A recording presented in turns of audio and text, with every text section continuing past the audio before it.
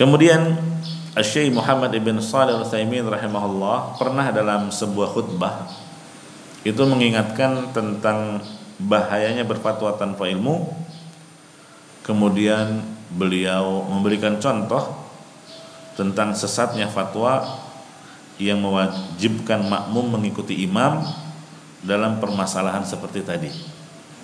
Iya, jadi disalahkan makmum yang duduk tadi itu salah, harusnya tetap mengikuti imam. Walaupun tahu itu rakaat kelima. Karena imam itu dijadikan untuk diikuti. Bahkan Nabi larang la tahtalifu alaihi, jangan menyelisih imam. Nah, itu dalilnya mereka. Kata Syekh Utsaimin itu contoh fatwa yang sesat, fatwa yang salah. Iya. Beliau menegaskan bahwa bagi makmum untuk tidak mengikuti imam dalam kondisi seperti itu.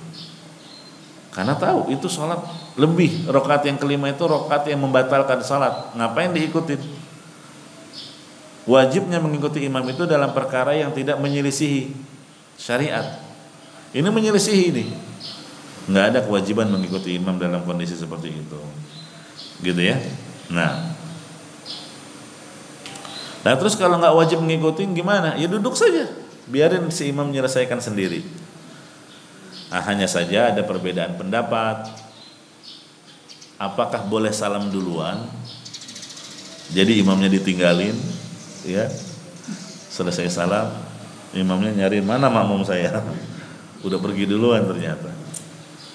Ataukah tetap duduk tahiyat akhir dan memperbanyak doa sambil nunggu sang imam duduk tasyahud akhir dan salamnya tetap bareng. Ini dua pendapat. Iya. Seandainya dia menyelesaikan sendiri itu juga boleh.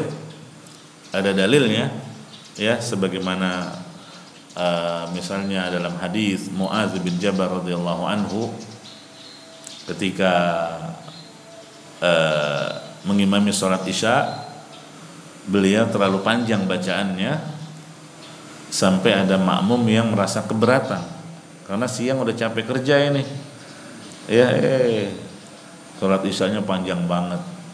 Entah baca al-baqarah entah baca ali imron ya akhirnya apa? Ada satu makmum menyelesaikan sendiri. Iya. Langsung merubah niat menjadi munfarid. Selesai udah. Nah yang sebelahnya lapor ke imam ke Muad bin Jabal radhiyallahu anhu. Tadi ada tuh di sebelah saya dia ngebatalin sendiri. Apa kata Muad? Itu munafik itu. Gitu. Nah ini tuh munafik keberatan, lapor ke Nabi sallallahu alaihi wasallam. Ya Rasulullah, saya dibilang munafik cuma gara-gara gitu. Iya. Mana yang Nabi salahkan? Muad. Dipanggil Muad. Afattanun anta ya Muad Apakah engkau ingin menimbulkan fitnah wahai Mu'ad? Ya, kalau sholat jadi imam, ringankan. Ya. Karena di antara mereka ada yang lemah, ada yang capek, ada yang sakit, ada yang tua gitu. Nah, jadi Nabi nggak menyuruh yang ngebatalin, eh, bukan yang ngebatalin, yang menyelesaikan sendiri itu untuk mengulang sholatnya. Nabi anggap sah, gitu kan? Nah, jadi kita boleh aja kalau lagi sholat berjamaah nih, misalnya di bandara, lagi sholat isya berjamaah tiba-tiba dengar panggilan ting kepada bapak ini segera memasuki pesawat terbang. Ya wah udah dipanggil nih. Imamnya banyaknya panjang banget ini. Ya nah udah selesaiin aja sendiri. Ya. Selesaikan sendiri. Boleh. Ya. Nah. Tapi kalau memang kasusnya seperti itu ya. Nah. Nah begitu juga dengan tadi. Ya. Imamnya lagi rokat kelima. Kalau nunggu dia kelamaan ini, ya. Sementara handphone udah bunyi ada panggilan dari istri tercinta lagi tulisannya. Atau dari ada panggilan apa gitu ya, dia urgent. Ya sudah dia salam duluan. Iya. Sah salatnya. Itu menurut pendapat pertama. Kalau menurut pendapat yang kedua, oh tidak, dia tetap tasyahud akhir, ya lalu ngapain kan tasyahudnya udah selesai masa bengong ntar ngelamun ke mana-mana jadi nggak khusyuk jadi perbanyak doa ya perbanyak doa karena itu termasuk waktu mustajab. Intinya itu dua pendapat silahkan mau milih pendapat yang mana. Kalau mendapati kasus imam berdiri menuju rakaat tambahan itu sudah diingetin dia nggak mau balik nggak mau duduk ya. Maka kita nggak usah ngikutin imam kita tetap tasyahud akhir.